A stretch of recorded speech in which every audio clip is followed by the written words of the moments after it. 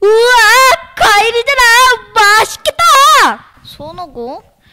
손오공, 너 뭐하냐? 어, 황룡, 너 죽은 거 아니야? 그래, 죽었지. 엥?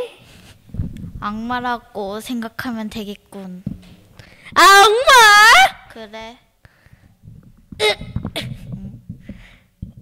배가 아파. 화장실 좀 갈게.